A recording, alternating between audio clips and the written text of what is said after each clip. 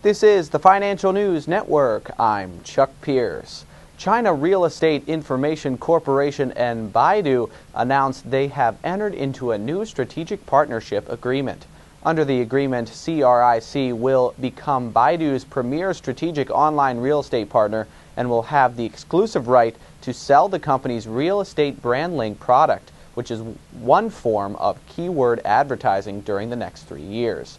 Zhou, CRIC's co-chairman and chief executive officer, said, quote, Partnering with Baidu in online real estate search and advertising is an important strategic decision. Through this new agreement with Baidu, CRIC enhances the strength of its search-based online products.